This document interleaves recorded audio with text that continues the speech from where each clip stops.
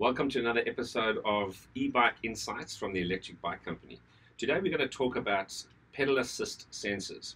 So there's a wide variety of different types that you can get out there and really a few years ago the most common one was a exposed pedal assist sensor with sort of magnets around the outside and then you'd have a sensor that would just pick up how fast those magnets would turn.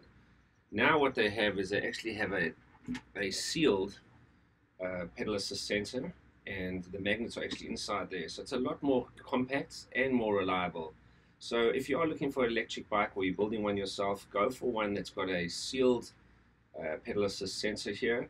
And obviously that means more reliability and less corrosion. And that then will plug back into your controller. So good luck with that and uh, see you next time.